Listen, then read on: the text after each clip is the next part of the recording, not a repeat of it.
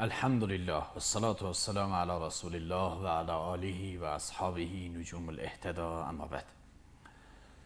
قال الله تبارك وتعالى في القرآن العظيم فأعوذ بالله من الشيطان الرجيم بسم الله الرحمن الرحيم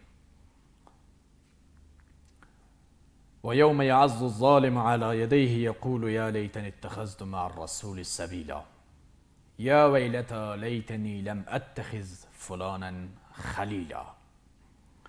لقد أضلني عن الذكر بعد إذ جاءني وكان الشيطان للإنسان خذولا. صدق الله العظیم خدمت همه بینندگان و شنوندگان عزیز خواهر و برادر السلام علیکم و رحمت الله تعالی و برکاته امیدوارم در هر جایی که هستید موفق و معید و سربلند باشید. و خوشحال هستیم که باز در خدمت شما در سلسله برنامه های آخرین پیام الهی قرار داریم. آخرین پیام الهی امروز یکی دیگر از جمله درس های آخرین پیام الهی برای ما دوست خوب داشتن است. خیلی قضیه مهم است آیا تا به حال به این فکر افتادید که خداوند آیات نازل کرده در قرآن قرآن بر قضیه محبت و دوست خوب انتخاب کردن چقدر تاکید کرده. و دوست خوب داشتن در حیات انسان چی نقش بازی می‌کنه چی رولی داره. در وسا موارد دوستان خوب به انسان خیلی محبوب تر هستند از برادر که از پدر و مادر تولد شده. شاید تجربه کرده باشید خودتان. چرا؟ در انتخاب برادر انسان نقشی ندارد. برادر بدون اختیار شما انتخاب می شود اما دوست در خودتان انتخاب می کنید به او لحاظ است که دوست از برادر به نزدتان محبوب تر است در بسا موارد بناهن الله تبارک و تعالی میگه دوست خوبی را انتخاب کنید هر زمان که دوست انتخاب می‌کنید. دوست خوب برای انسان یک سرمایه هست. دوست خوبی انسان کسی هست که عیب انسان پیش روی انسان بگوید. دوست خوب برای انسان کسی هست که انسان را از بیراهگی و از راه انحراف باز دارد. دوست خوب برای انسان کسی هست که انسان را طبق اوامر الله دستور بدهد. دوست خوب برای انسان کسی هست که انسان را با طاعت و عبادت خدا سوق بدهد. دوست خوب برای انسان کسی هست که انسان را با سیگار و با نسوار و با چرس و با تریاک و با هیروین و کوکائین و مورفین دعوت نکند. این رو میگن دوست خوب. الله اکبر حضرت ابن عباس میفرمایند عبدالله ابن عباس که در روز قیامت وقتی که اهل بهشت وارد بهشت می‌شوند در بهشت نگاه می‌کنن که دوستان اینها وجود نداره سوال می‌کنن یا الله فلانه دوست ما در دنیا آدم خوبی بود کجاست امروز خدا میگه که به جهنم است با خدا سفارش می‌کنه شفاعت می‌کنه یا الله بهشت بدون اون دوست من برایم خوشایند نیست. چی میشه دوستم را از جهنم بیرون بیاورید؟ و بعد الله تبارک و تعالی اجازه میده و این انسان دوست خود از جهنم بیرون می‌کنه.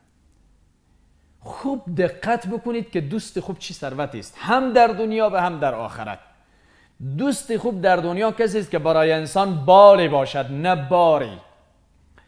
دوست خوب در دنیا کسی است برای انسان که در غم و در مصیبت و در شادی و در همه حالات در پهلوی انسان آماده باشد دوست خوب برای انسان در دنیا کسی است که چشم به ناموس انسان نداشته باشد چشم به مال انسان نداشته باشد به قدرت انسان نداشته باشد به زیبایی انسان نداشته باشد. دوستیش فقط برای الله باشد. او زمان است که می‌تونه دوست خوبی داشته باشید و قرآن چی زیبا میفرماید؟ و یوم یعز الظالم علی یدیه روز قیامت ظالمین دستشان را با دندان میگزند با دندان می‌گیرند از شدتی عذاب الهی. و یقول می‌گویم یا لیتنی لم اتخذ. یا لیتنی اتخذت مع الرسول سبیلا. ای کاش ما در دنیا راه پیغمبر انتخاب می‌کردیم. دوستی با پیغمبر انتخاب می‌کردیم. از پیامبر دوستی بهتری در روی زمین دیگه وجود نداره. کاش که با محمد دوست می‌شدیم. صلی الله علیه و سلم. و بعدش چی زیبا میفرماید؟ یا ویلتا لیتنی لم اتخذ فلانا خلیلا. انسان هایی که در دنیا دوستی بد دارن دوست شرابی دارن دوست معتاد دارن دوست چرسی دارن دوست دزد دارن دوستان اختطافچی دارن دوستان فاسد دارن دوستان به اصطلاح احتکارگر و رشوت دادگر و سودخورگر دارن. این انسان ها در روز قیامت چند افسوس دو افسوس می‌خورن. دو حسرت می‌خورد در میدان محشر. یکی خو میگه کاش با رسول خدا دوستی می‌کردم. گرچه که امروز رسول خدا پیش ما نیست ولی راهی پیغمبر سنت پیغمبر روش پیغمبر پیش ما هست. کاش او راه انتخاب می‌کردم. یک حسرتش است و حسرت دومش چی هست؟ یا ویلتا لیتنی لم اتخذ فلانا خلیلا کاش در دنیا با فلانی دوستی نمی‌کردم. کاش در دنیا با فلان حاکم ظالم دوست نمی بودم کاش در دنیا با فلان دزد و سارق دوست نمی بودم کاش در دنیا با فلان سوددادگر و رشوتخور دوست نمی بودم کاش در دنیا با فلان شرابخور دوست نمی بودم کاش در دنیا با فلان و فلان و فلان دوست نمی بودم یا ویلتا ای کاشکی لم اتخیز نمی گرفتم فلانا فلانی را. خلیلا دوست حسرت است که در میدان محشر می‌خوری. چرا؟ لقد اضلنی عن الذکری این دوستان بودن که مرا گمراه کردن میگه این دوستان بودن که مرا معتاد ساختن این دوستان بودن که مرا دوست ساختن این دوستان بودن که مرا فاسد ساختن. لقد اضلنی عن الذکر بعد از جاءنی. و تحقیق که اینها مرا گمراه کردن. از یاد خدا غافل کردن. بعد از ای که پیام الهی برایم آمد. بنان عزیزان من جوانان عزیز خواهران و برادران عزیز دوست متقی مؤمن با دانش با ثبات فهمیده دوستی که هیچ توقعی جز دوستی از انسان نداشته باشد. برای انسان سرمایه هست.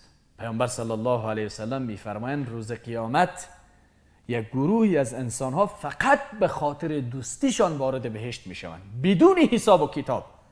الله تبارک و تعالی صدا می‌زند. این المتحابون بجلالی. کجا هستند او کسانی که فقط به خاطر من الله با هم دوست بودن؟ در غم و شادی و در مصیبت در همه وقت کنار هم قرار داشتن. کجایم و بعد اونها رو حاضر می‌کنه بدون حساب وارد بهشت میشه. امیدوارم الله تبارک و تعالی به همین ما توفیق بده تا دوستان خوبی رو انتخاب بکنیم. دوست خوب سرمایه خوبی است برای انسان. همیشه ثروت پول نیست. تا برنامه بعدی که در خدمت شما قرار می‌گیریم همه شما را و الله پاک و بینیاز می سپارم السلام علیکم و رحمت الله تعالی. و برکاته